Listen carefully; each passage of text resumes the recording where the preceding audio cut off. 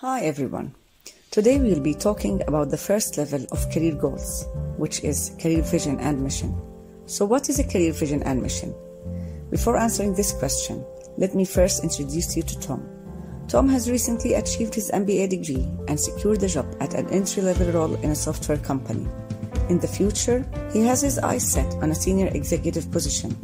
However, he's not sure about the steps he needs to take to accelerate his journey up the ladder. For Tom to reach his anticipated goals, he needs to create a professional development plan. The first step in developing this plan is to identify his vision and mission statement.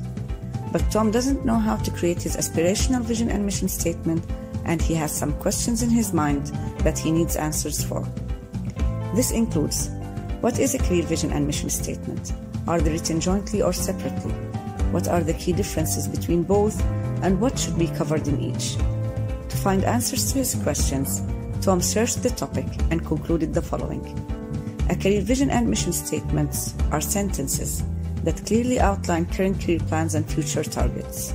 It formulates and expresses the career direction of an individual. Career vision and mission statement can be written jointly or separately, and there are key differences between both. The first key difference is that the vision statement answers the question Where would I like to take my career in the future? Whereas a mission statement answers the question, How am I going to do that? Another key distinction is the time span covered by each. A vision statement is formulated to represent long term career goals, whereas a mission statement is formulated to represent short term career goals.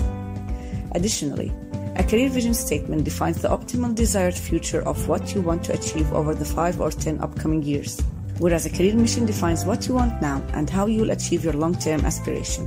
Tom has further found some useful key tips which he would like to share with you. First, do not rush creating your career statement. It will take more than one trial to get it right. Secondly, get rid of all the negativity and think big.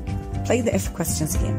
For example, if your bills are all paid and you have sufficient cash reserves, what would you want to do today?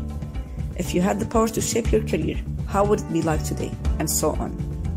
Write your vision and mission statement in the present tense even though the vision is set for the future, this will put you in the right mindset and increase your confidence to achieve what you want. Tom went with writing his career vision and mission as one statement. His vision is to become a chief executive officer, and his mission is to provide excellent software services to his customers while respecting and managing a top notch staff. Now, why not try to formulate your own career vision and mission statement and make use of the guidelines and tips discussed in this video?